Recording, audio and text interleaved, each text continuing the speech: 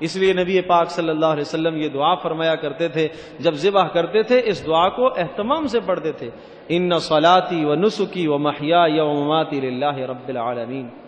میری قربانیاں، میری نمازیں سب اللہ کے لیے انی وجہ تو وجہ للذی فطر السماوات والارض حنیفا وما انا من المشرکین. کہ میں اس مبارک عمل کو اس اللہ کے لیے پیش کر رہا ہوں، جس نے آسمانوں کو بنایا، زمینوں کو بنایا، اور میں شرک کرنے والوں میں سے نہیں ہوں۔